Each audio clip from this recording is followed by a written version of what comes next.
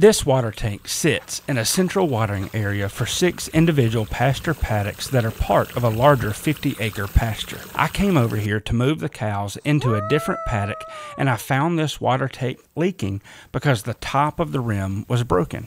We used to use the float valves that go over the top of the water trough, but these Jobe Megaflow valves are so much better because they fill the tank faster and they can mount from the bottom or the side.